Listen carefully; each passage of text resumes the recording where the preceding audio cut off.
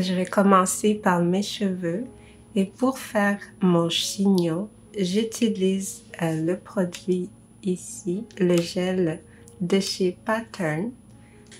Donc j'aime commencer avec quatre sections de cheveux. Comme les cheveux naturels se manipulent mieux lorsqu'on on fait des sections. Je fais quatre sections pour moi. C'est suffisant, mais on peut commencer par moins, on peut en faire six, huit.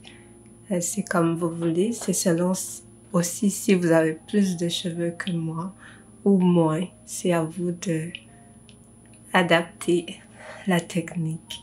Donc, j'aime commencer par les cheveux, les deux sections d'en arrière que je manipule en même temps. Donc, mes cheveux sont déjà nettoyés. J'ai fait un shampoing hier. J'ai fait un masque aussi hier. Et donc, ils sont lavés, démêlés et aussi hydratés. Donc, il reste plus qu'à les coiffer. Donc, ce que j'aime faire, c'est que je vais prendre un peu du gel.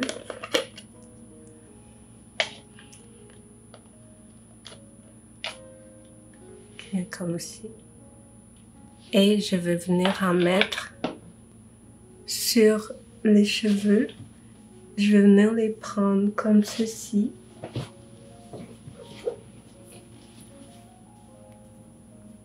et je vais venir mettre du gel, même beaucoup de gel, tout autour.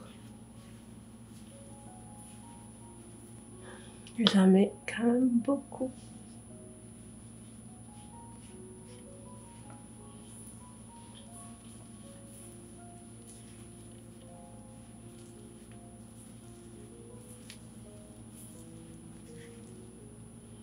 Je vais aussi utiliser une brosse. Je sais pas comment ça s'appelle, mais c'est des cheveux fins. Ça va venir aider pour euh, aplatir les cheveux. Donc, je vais venir utiliser ça aussi.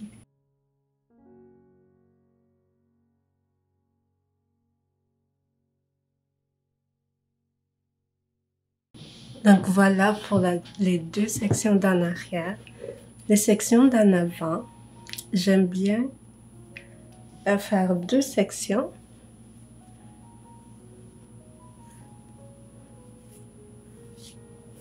Voilà, il faut faire confiance au processus. Et c'est vraiment très simple. J'aime beaucoup faire cette coiffure. Ça me permet d'avoir un look très chic et en même temps très simple et très facile à, à, coiffer. Donc je viens, je viens juste de mettre du gel sur le côté et je viens en étendre un peu partout, surtout sur les petits cheveux ici, les bébés. Je viens lisser. Et c'est là la clé, c'est plus tu lisses, plus ton chignon va être lisse et plus il va être, selon moi, beau. Et dès que j'ai fini cette section, je vais aller le rajouter à l'autre section qu'on vient tout juste de faire. J'utilise une autre élastique et je vais l'amener vers l'arrière. Et c'est pour ça que c'est plus simple de d'utiliser, d'y aller en section.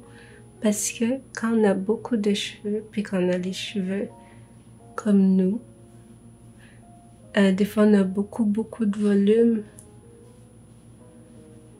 Et c'est pas toujours simple de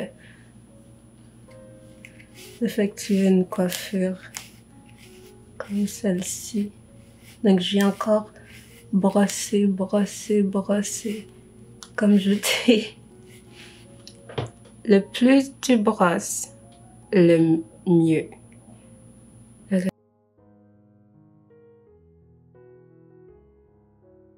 Donc, je viens rajouter la section au reste des cheveux. J'utilise le même élastique. C'est plus simple d'effectuer le chignon après avoir nettoyé ses cheveux parce que les cheveux sont lisses, sont démêlés. J'ai l'impression que si tes cheveux sont mêlés, ça vient rendre le processus encore plus long.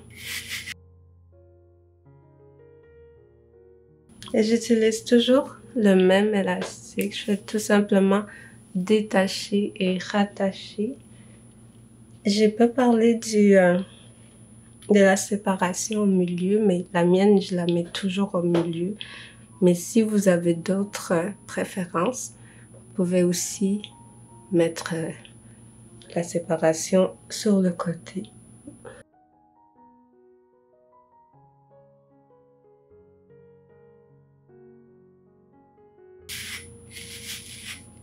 Vous voyez comme je brosse, je brosse comme si ma vie en dépendait.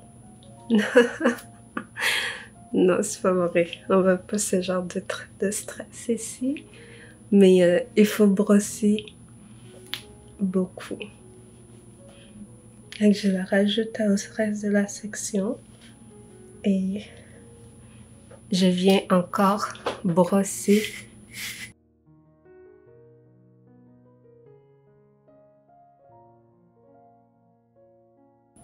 J'ai toujours plus de facilité à brosser ce côté-ci que ce côté-là. On voit la différence. Je vais aller travailler l'autre côté pour que ça vienne uniformiser euh, le look et que ce soit aussi plat. Je rajoute du gel.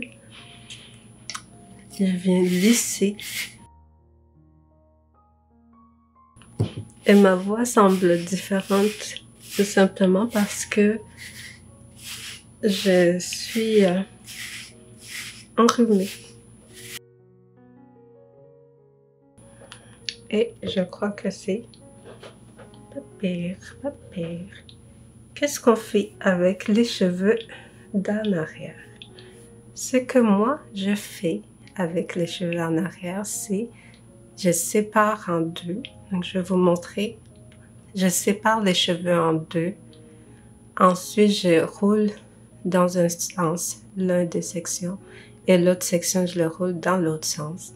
Et ça permet d'obtenir un chignon qui est assez uniforme, un beau rond uniforme.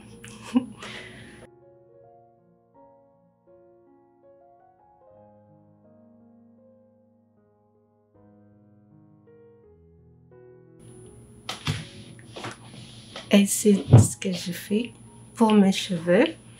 Ensuite, j'essuie mes cheveux, mes mains, parce qu'ils sont pleins de gel.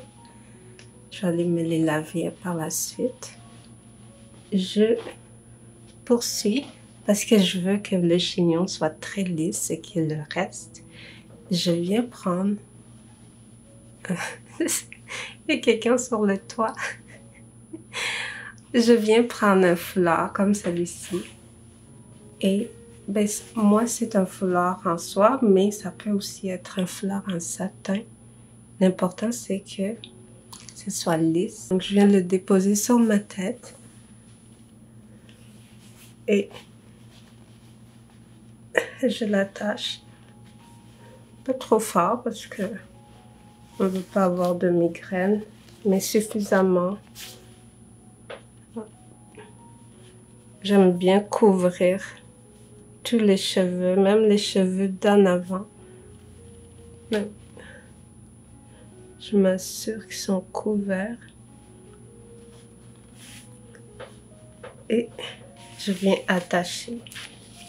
Personnellement, je ne fais pas de baby hair, bah, mais mon anglais est sorti.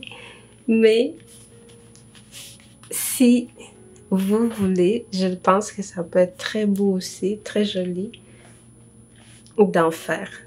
Personnellement, je ne suis pas très bonne. Je suis encore en train de pratiquer. C'est tout ce que je fais pour les cheveux. Et là, je vais vous montrer comment je fais le maquillage. Pour le maquillage, j'ai déjà fait mon soin de la peau, donc j'ai lavé mon visage. J'ai pris ma douche ce matin, j'ai mis ma crème, mon sérum de vitamine C, et ma crème solaire. Ça. Et ensuite, là, je vais avec un fond de teint.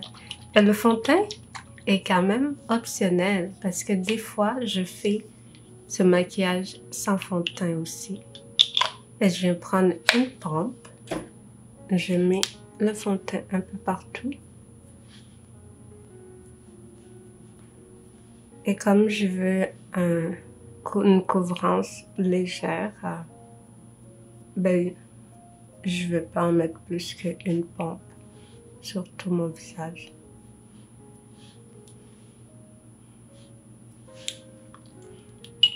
Je vais prendre une autre brosse. Puis je viens étendre le fond de teint partout. Quand tu as étendu tout ton fond de teint, si tu utilises une brosse, d'aller vers le bas.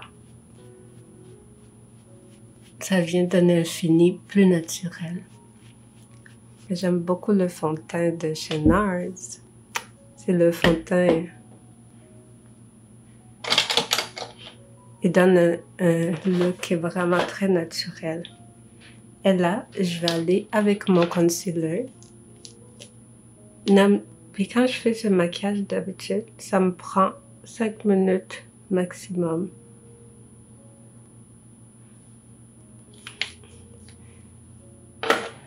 J'utilise le Beauty Blender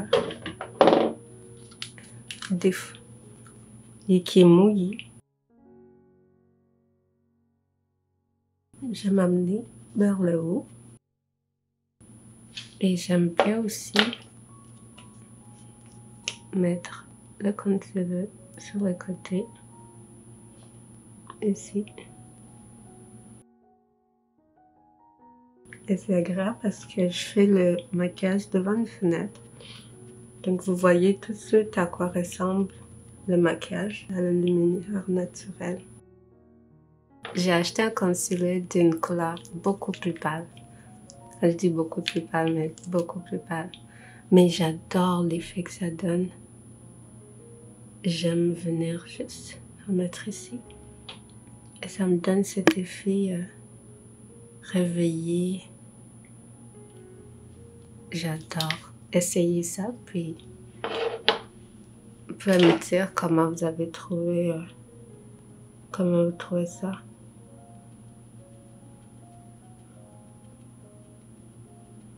Et je sais pas si je l'ai dit, mais quand la différence entre un bon maquillage et un moins beau maquillage, souvent, c'est même pas la qualité des produits, c'est surtout la qualité de votre peau.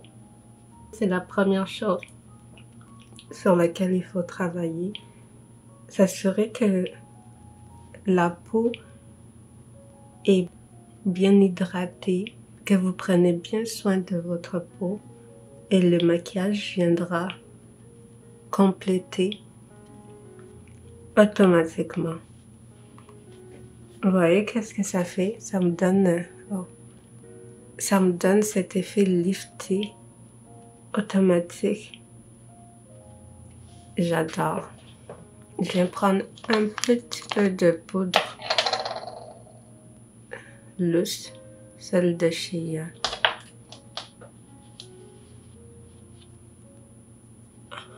Laura Merci et j'aime beaucoup ramener toujours vers le haut. Je ne vais pas faire de baking, juste venir presser la poudre au niveau des yeux. Je vais aussi venir ici sur le côté parce que c'est là où j'ai tendance à avoir des lignes de démarcation du maquillage. Une fois que c'est terminé,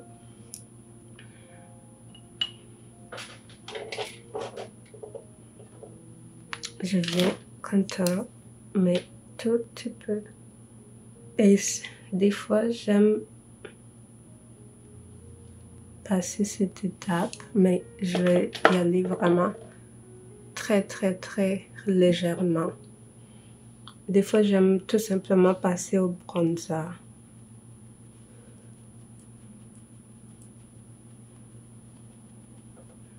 Pour avoir le look.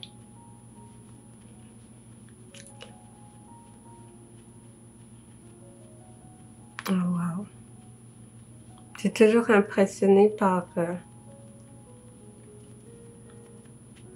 le fond de teint. Puis la qualité de ma peau.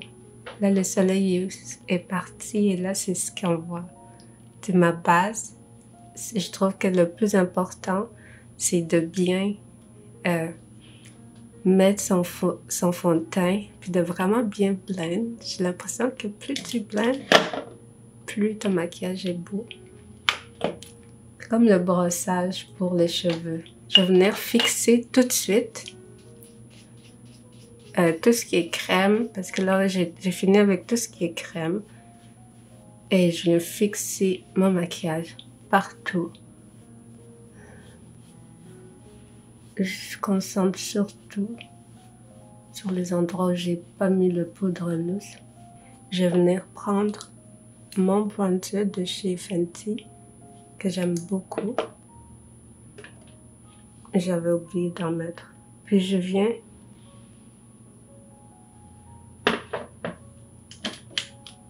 je viens travailler juste au niveau de l'arche ici, la rencontre entre mon sourcil et l'arche de mon nez. Je trouve que ça fait déjà un effet liftant dès que tu mets ça juste là. Et après, je viens compléter sur le bout du nez. Et avec le reste, je je fais juste blend, mais vers le bas. Puis je ne touche pas l'arche de mon... Je touche pas le pont. On va l'appeler comme ça.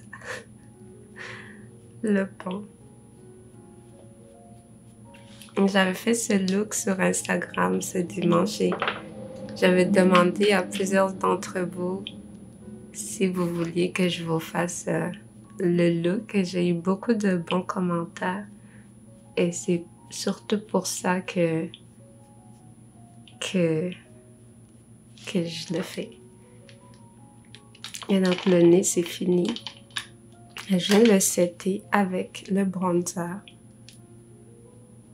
Je vais encore une fois. Ouf. Ok.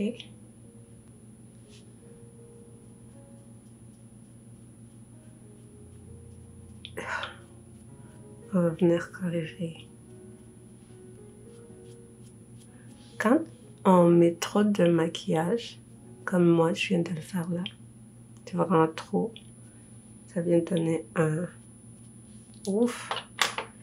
Ce que j'aime faire, c'est tout simplement venir avec la brosse que j'ai utilisée pour le fond de teint et je vais venir le taper comme ça. Et ça va venir aider beaucoup à estomper avec le maquillage restant sur la brosse, tout simplement. Et je peux revenir après si j'en ai trop enlevé, juste rajouter un peu. Et je ne vais pas rajouter euh, de produit sur mon pinceau. Mais c'est... Oh encore.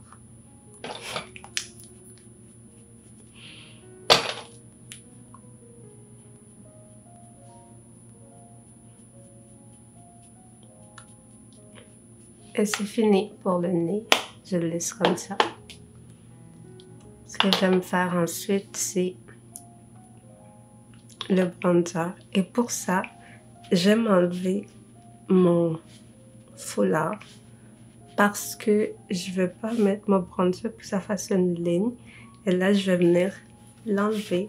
Est-ce que ça va faire? Pour mettre mon bronzer? Ça va me donner... Oh, allô?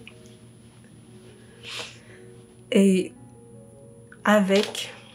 Comme ça, si je mets mon bronzer, ça va me donner un fini plus smooth avec mes cheveux. On comprend ce qu'on veut pas avoir. Donc c'est ça, je viens mettre. J'utilise une grosse brosse pour le bronzer de chez euh, Marc Jacob. Et je viens tout simplement balayer comme ça. J'en mets sur le périmètre de mes cheveux. Oui, il y en a dans mes cheveux aussi. Mais c'est ça, la beauté des choses, c'est ça qui donne le look. C'est vraiment, je vais avoir le look, euh, je viens du soleil, je viens du... Et c'est surtout le haut du visage. Et ici, je vais venir en mettre sur ma pomme de main, mais sur le bord. Et je peux juste venir taper aussi. Si on ne sait pas trop, on tape. Taper, c'est parfait aussi. Mais ça me donne vraiment le look euh, minimaliste. Et c'est tout. Et le bronzer, on peut pas trop en mettre. Donc, je finis avec ça. Ensuite, mes sourcils que je oublie jamais. J'adore mettre des sourcils. Mon nouveau, ma nouvelle chose préférée à faire, c'est faire mes soins de la peau et ensuite faire mes sourcils. Ça met le look.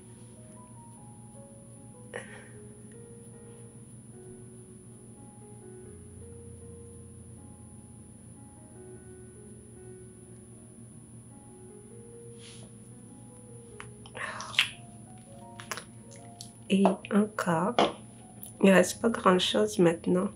J'aime bien en mettre un peu de bronzer sur mes, sur mon, ma paupière. Je vais venir en mettre. Le même pinceau que j'ai utilisé pour mon nez. Un petit pinceau, n'importe quoi, qui est petit. Ça va venir faire l'affaire. Ensuite, je vais aller avec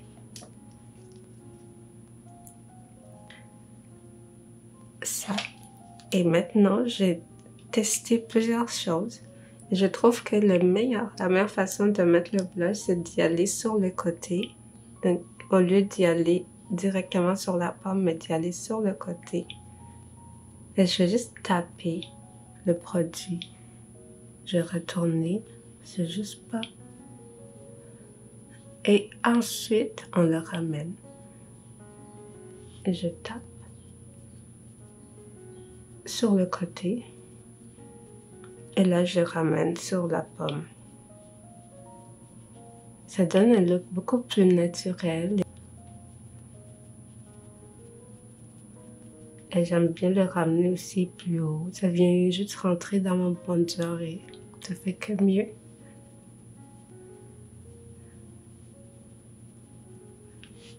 Et sur le nez aussi, pourquoi pas.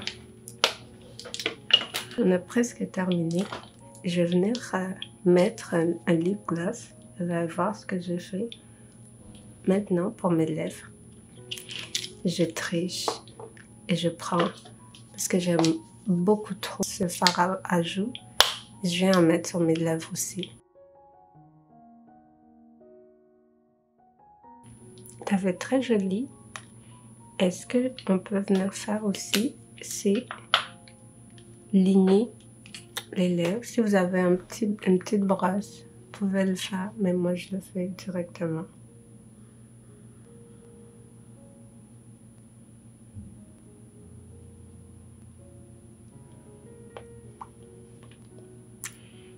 Voyez ce que ça fait? On a déjà un look complet. J'ai juste oublié de faire le highlighter. Est-ce que j'aime faire maintenant? Je prends une brosse comme ça, toute petite, et je viens la mettre dans mon highlighter de chez Hourglass. C'est un trio, mais j'utilise surtout celui qui s'appelle Eternal Light.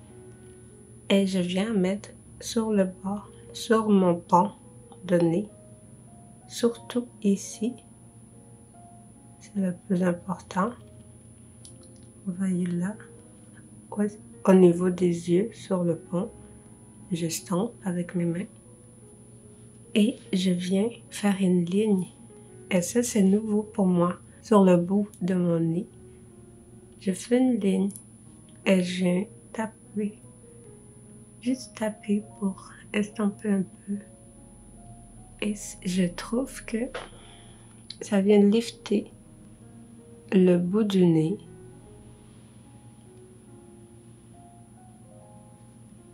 Parfaitement.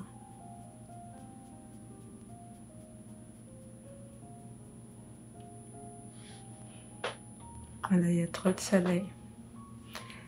Puis, je viens aussi en mettre sur les côtes, sur les hauts de mes joues avec mes mains. Le même produit. Je vais juste taper, taper.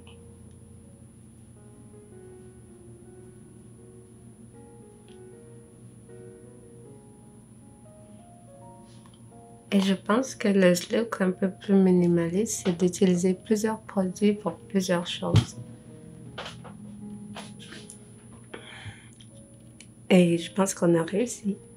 Je viens aussi prendre la même brosse que j'ai utilisée pour mon nez. Je viens en mettre dans le creux de mes yeux. Je trouve que ça vient ouvrir l'œil encore plus. Très très beau.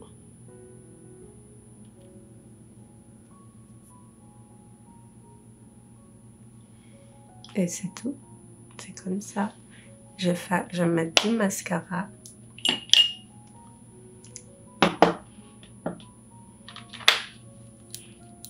Et le look va être complet. J'ai presque pas de cils.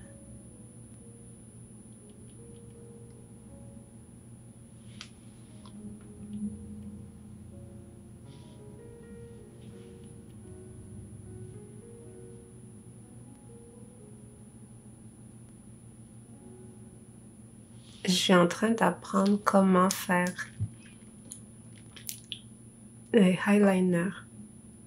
Et je crois qu'avec ce look, on devrait avoir des anneaux et non. Et je vais changer donc ce, ce boucle d'oreille ici pour un anneau. Ben, pour un anneau au lieu de celui-ci. Parce que le look ça, ça donne très bien un look qu'on veut achever. Ça, le plus gros, mais pas trop gros. Oh, c'est joli. Ça vient vraiment bien compléter le look qu'on veut. Et ça, c'est ce que je fais ça, c'est mon maquillage qui serait de tous les jours. En moins, peut-être, le fond de teint. Puis normalement, quand je ne parle pas, ça va me prendre 5 minutes au moins à achever. C'est très, très rapide. Je vais m'habiller parce qu'on va compléter le look et je vais venir vous montrer le look final. Et j'y suis habillée et je vous montre ma robe, ce que j'ai choisi de porter, je crois que c'est la robe parfaite pour aller avec cette coiffure. Je vous montre. J'ai choisi cette robe. Je vais m'éloigner pour vous montrer. C'est ça, le look final qui est incroyable me dites rien, on peut plus rien me dire. J'ai l'air de ça, mais j'ai l'air de ça tous les jours. ok, donc la robe, j'ai un haul, je vais vous montrer ce que j'ai acheté parce que cette robe et les autres robes que j'ai achetées dans ce magasin, quand je vous dis que tout, j'ai jamais fait ça, tout ce que j'ai acheté était beau. Tout ce que j'ai acheté faisait bien. Donc, puis je dois vous partager ça. Donc, la robe, elle est mémorable pour toutes les occasions, même pour tous les jours quand je vais faire des courses, parce que c'est ce que je fais.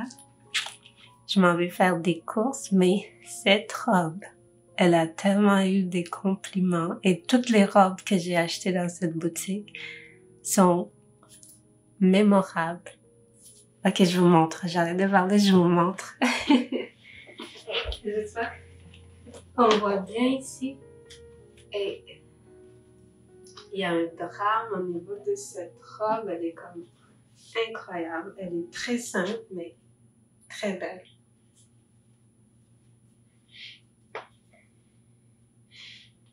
Elle est magnifique. Et en plus, normalement, j'ai pas tendance à aller vers des couleurs sombres, mais cette robe, quand je l'ai vue, j'étais comme non, je peux pas ne pas la prendre. Donc c'est tout pour moi aujourd'hui pour cette vidéo. J'espère que vous avez apprécié autant que moi et on va se revoir à la prochaine vidéo. Bye bye.